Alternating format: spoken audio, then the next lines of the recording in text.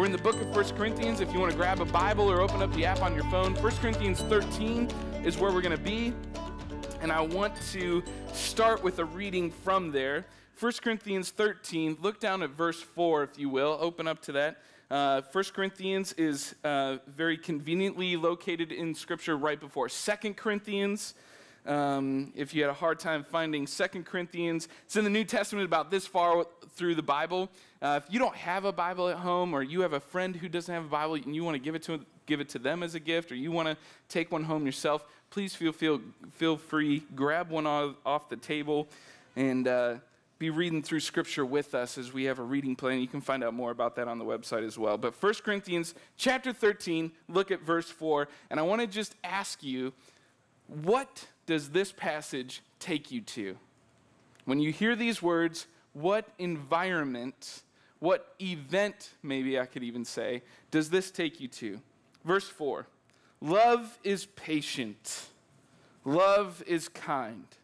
It does not envy, it does not boast, it is not proud. Love is not rude, it is not self seeking, it is not easily angered. It keeps no record of wrongs. Love does not delight in evil, but rejoices with the truth. It always protects, always trusts, always hopes, always perseveres. Where does that take you to? What environment? What event?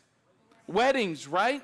Absolutely. Everybody has heard these words read at a wedding at some point. In fact, even in the movie Wedding Crashers, where Vince Vaughn and Owen Wilson are sitting in the pews in a church at a wedding ceremony, they're taking bets on whether it's going to be 1 Corinthians 13 or Ephesians chapter 5. And they're betting back and forth. Which one do you think it's going to be? Well, these are the words here spoken at many weddings. Maybe they were even spoken at your wedding. What's interesting is that today we're going to take a little different look at it, put a different spin on it, and we'll start with this. When I think of weddings, when I think of these beautiful words of love is patient, love is kind, the, the, the exact environment that I find myself not thinking about is the dude who stands down on the corner uh, downtown during like major events and is yelling at people through his bullhorn, turn or burn right? When you read these verses, you're not thinking of the guy with the bullhorn yelling at people, you better stop sinning, you better turn, or you're gonna burn, right? Hell is on its way. Repent now. I don't really think of that so much when I read these verses here.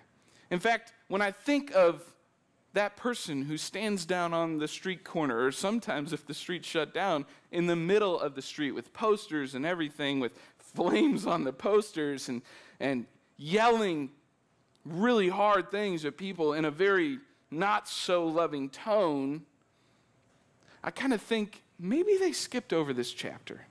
Maybe they didn't hear these words love is patient, love is kind. I mean, it goes on from there, but you could just stop after those two things and think maybe they didn't hear those words.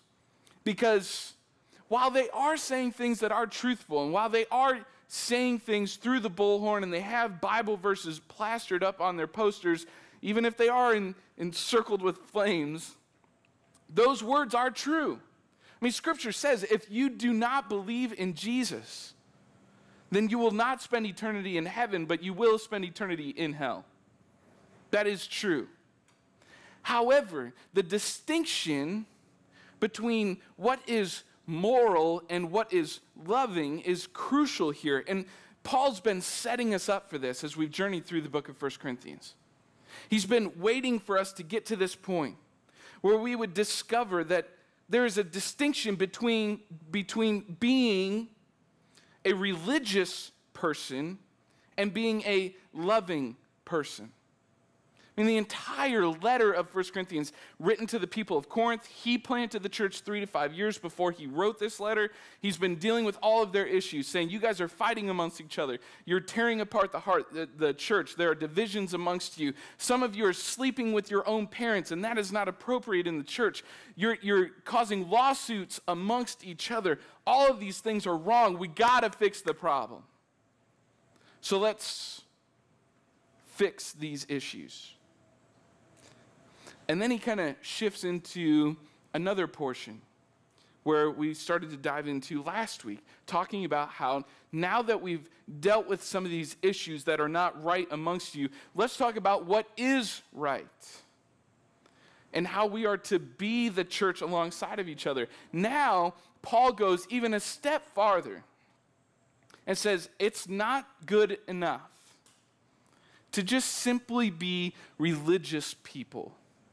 It's not good enough to just modify your behavior to look more like Jesus. But he says, if you don't, even if you have all of that, even if you're speaking in tongues, even if you're, you're preaching to people, even if you're healing people, Paul says, but you're not loving people, then there's something wrong. Look at the first few verses here of chapter 13.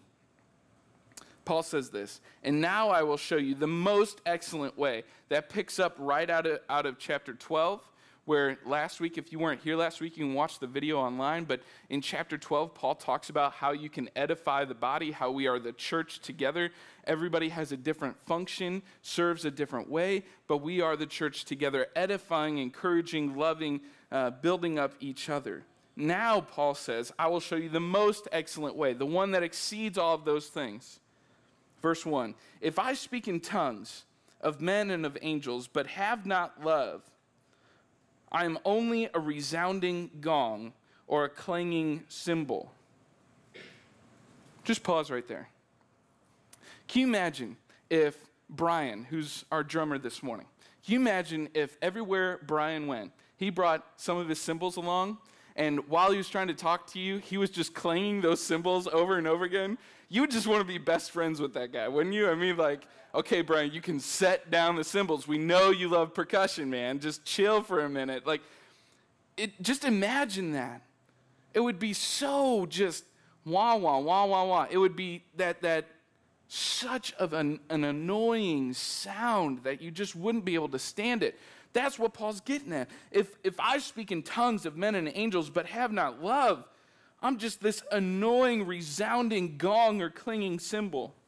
If he goes on, if I have the gift of prophecy and can fathom all the mysteries and all knowledge, and if I have faith that can move mountains, but have not love, I am nothing. If I give all I possess to the poor and surrender my body to the flames, even to the point of martyrdom, is what he's saying. But I don't have love, I gain nothing. Well, geez, Paul, that's kind of that's kind of rough. I mean, I've been doing all these really nice things. I've even been preaching in my church. I've been going and visiting people in the hospital. I've been caring for people. I've been, been, praying with people on the phone. And I've been doing all these things that I'm supposed to do as a pastor. I'm supposed to do as a, as a layperson. I'm, a, I'm supposed to do as a member of the body of Christ. And you're telling me that's not good enough? No because there's something so much more that Scripture is about than just behavior modification. If church was here, if we gathered every Sunday, if we got together in community groups just to fix the way you act, we'd be missing the main thing. Remember how Paul started this letter way back in chapter 1 when we were studying that back in April? He said, You guys, you've failed to keep the main thing, the main thing. And the main thing is Jesus Christ and Him crucified for our sins so that we would not have to live any longer with this debt of sin hanging over us, but that we might have hope because of what He did in spite of what I've done. Keep the main thing, the main thing. Paul's entire letter, and I hope you hear this because we spent a lot of weeks in the book of 1 Corinthians, and it's really tempting for us to think that this is just about fixing the way you act. This is about modifying your behavior. But Paul here is making a massive distinction for us. Following Jesus, being a part of the church, being a Christian, is not rooted in behavioral modification, but it's in heart transformation. It is not behavioral modification, but it is heart transformation. Hmm. When Paul goes and shares this with this church, says love is patient, love is kind, love does not envy, it does not boast, it is not proud, it is not rude. And he goes on and on to describe what love is. He's calling to mind for every single one of us that this is not a matter of fixing what you do with your hands or your thoughts or your actions or, or what you do with your behaviors, but he's talking about what happens here. And you see, all day long, here's, here's where this message gets hard for me. Because all day long, I can point my finger at the guy with the bullhorn downtown yelling at people, turn or burn, and say, dude, what you might be saying may have truth in it, but you're not living in love. It doesn't take long before, oh man, there's so many ways that I try to be a religious person to do the right thing, but it's not rooted in love. I mean, it happens when we serve, and the serving has so much more to do with how we posture ourselves and how it makes us look than anything else. It happens when going to church is more about checking off the religious box and saying, Yep, I'm a part of a church. It happens when the conversations with people who we say we love stay at the surface and never deal with matters of the heart so that we don't have to get into the mess of other people's lives. I'm doing the right thing by just checking in and calling and making sure you're okay, but I know there's something more. I'm just going to keep it at the surface doing the right thing, modifying your behavior to be the more better Christian, if you will. And yet, love is not rooted in there. It happens when I see somebody selling the contributor on the corners, even just right out here as I drive in every Sunday morning. And maybe on a good day, I give a couple of bucks because I want to feel better about myself. And it leaves out the total notion that this person is a human being just as much as I am, and they need to be loved just as badly as I do. But hey, at least I gave a couple bucks. We're not about stirring up religiosity amongst ourselves. We're not about modifying our behaviors for the sake of becoming better people, but we're about showing the kingdom of God here on earth as it intersects our lives by the way that we love. Jesus said you can sum up all the commandments in just two love God and love your neighbor. But it gets messy when that happens, doesn't it? It's not easy. And as soon as we start this conversation, immediately we start saying, okay, well, well, if I'm all about these good things, and if I'm all about being a nice person, but maybe I'm lacking in the love department a little bit, how can I grow in that love? Look here at verse 4 again. This is amazing. Look at the way Paul talks about love. And not just a description of love, but he personifies love. Look at verse 4. Love is patient. Love is kind. It's almost like you're describing a person you know. Love is patient. Love is kind. Love does not envy. Love does not boast. Love is not proud. Love is not rude. Love is not self seeking. It is not easily angered. It keeps no record of wrongs. Love does not delight in evil, but rejoices with the truth. Love always protects. Love always trusts, always hopes, always perseveres. Love never fails. Here's your dilemma. Here's my dilemma. If the moral of the story for us today was, okay, I just need to love more, then we would be missing exactly what Paul is talking about here. Because he's not describing what a person who loves does. He's not saying, if you're a loving person, then you are patient. If you are a loving person, then you are kind. If you are a loving person, then you do not envy. He doesn't say that. He had every opportunity to say that. But he says, love is doing this. Love is accomplishing this very thing.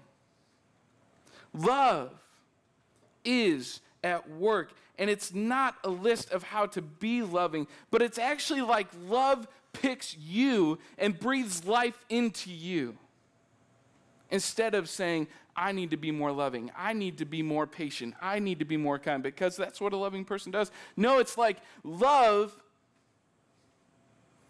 infiltrates your heart in such a way that it can't but help itself to transform who you are.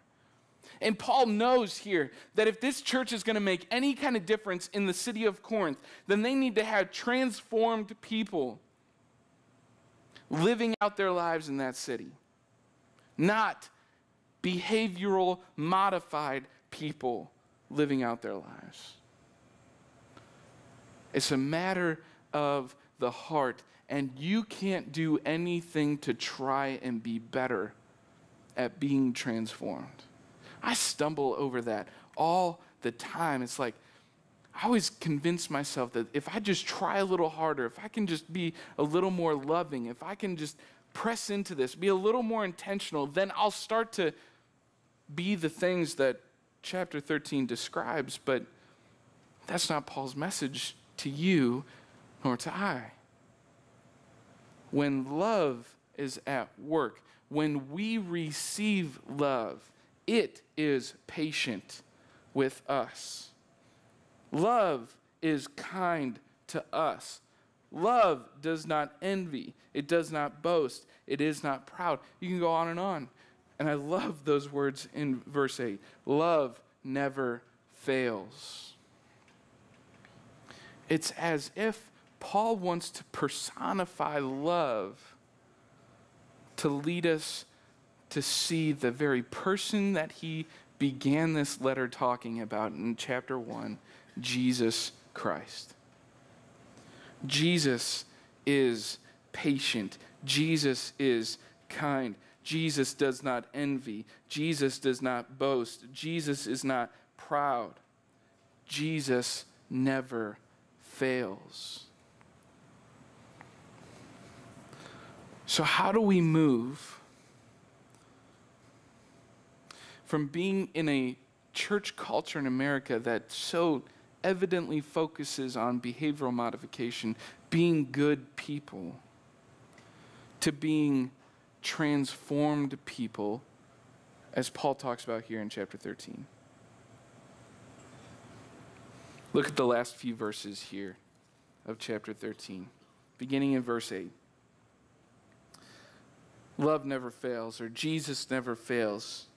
But where there are prophecies, they will cease. Where there are tongues, they will be stilled. Where there is knowledge, it will pass away. For we know in part and we prophesy in part. But when perfection comes, in other words, when Jesus comes back again, the imperfect disappears. When I was a child, I talked like a child, I thought like a child, I reasoned like a child. When I became a man, I put childish ways behind me. And then he gives this incredible picture for us. It's where we're going to land the plane this morning. Verse 12. Now we see but a poor reflection as in a mirror. Then, that day, we shall see face to face. Now I know in part, then I shall know fully, even as I am fully known. And these three remain faith, hope, and love. But the greatest of these is love.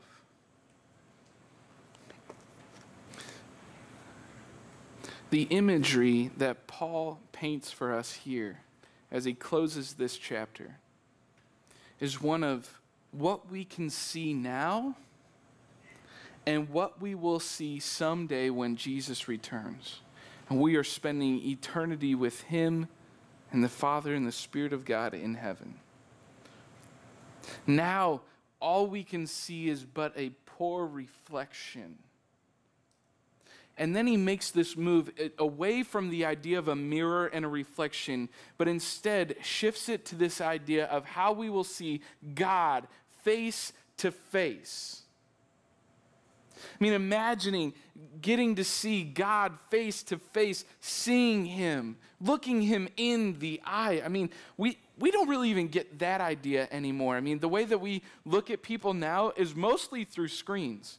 I mean, yeah, there's interaction and stuff that happens here, but, but we, we kind of have been robbed of this idea of what it means to be face to face. I mean, can you imagine if tonight during VBS, instead of having all the kids show up in one place and getting to play together and learn together and sing together, they just asked every all of the kids to like FaceTime in. And they were all just watching what was happening on a screen, and that was that was it. I mean, you know immediately what would be robbed from those kids and what they'd be missing out on by just looking at something on a screen. You know what they miss out on when they only look at something through a screen, when we only talk to each other through our phones, and really we don't even talk to each other anymore, but it's mostly just texting and emailing now. You know what you lose when you're not face to face? You lose love. They can't see the love, they can't feel the love that you have for them because it's just through words or a message or a phone call, maybe, and maybe through a screen but you miss the face to face. You can't see the love that they have for you. Paul is calling us right here to stop thinking about how can I better love people?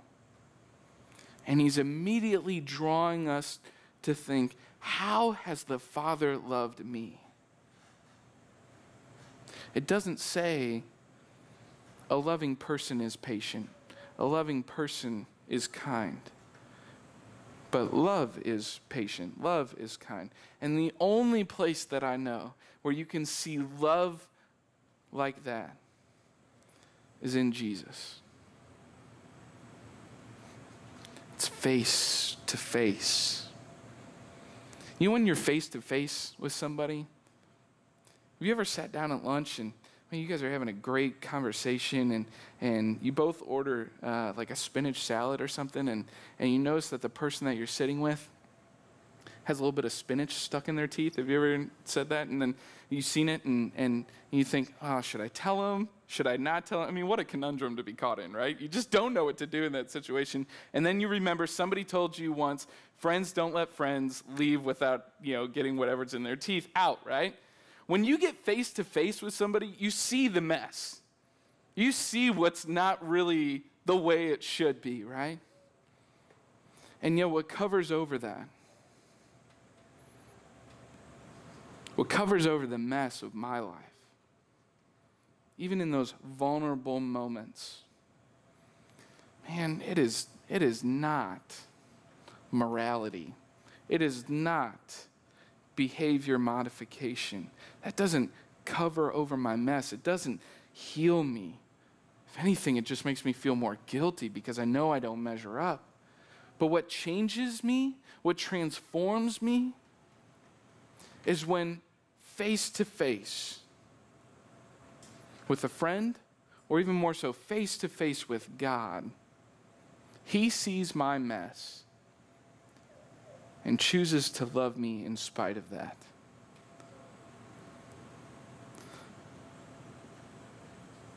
Today is just simply an invitation